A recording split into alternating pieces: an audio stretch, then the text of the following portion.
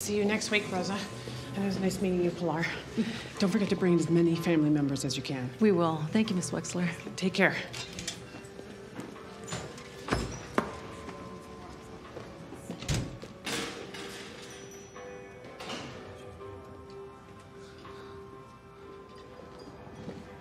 All done for today? Yeah, there you go. Just keep it, Shelby. Thanks, Kim. See you tomorrow? You bet. They're gone. I'm sorry? The two men that were following you. They're gone. Do I know you? Would you mind sitting for a moment and I will answer any questions I can?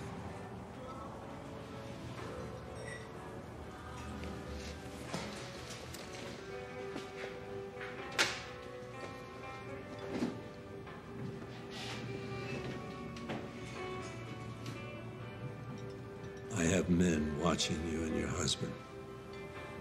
I'm not with the police, and as far as I know, they're not investigating either of you. I do know that you've been up to a few things that you probably would rather keep private. I don't care. That's not what this is about. I'm trying to solve a problem of my own. What problem? Lalo Salamanca. Lalo Salamanca's dead.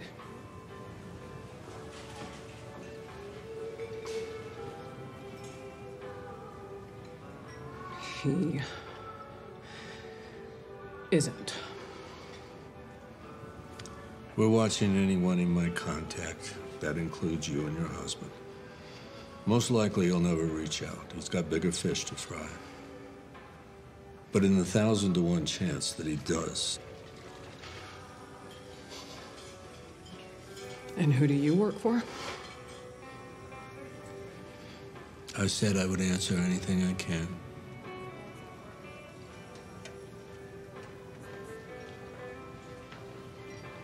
You're the guy from the desert.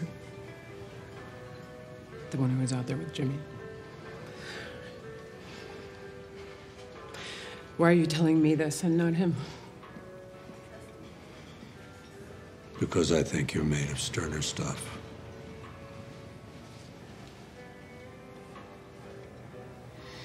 All right. Now, here's what's best for everyone. You spot my guys again, which I'm hoping you won't. Let them go about their business. Just pretend they're not there. And pretty soon they won't be. And you and your husband, just go on living your lives. I do know you. You worked in the parking booth at the courthouse. You're the attendant.